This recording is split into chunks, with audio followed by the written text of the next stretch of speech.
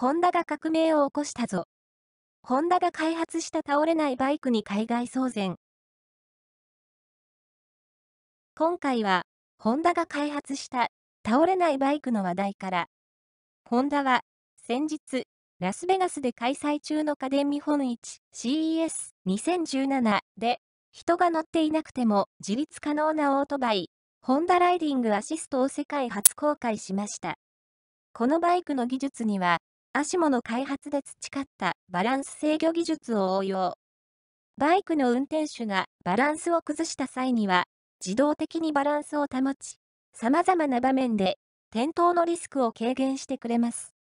外見は、ごくごく普通のバイクながら、大きな可能性を秘めたこの1台に、海外の方々からは、驚きの声が殺到していました。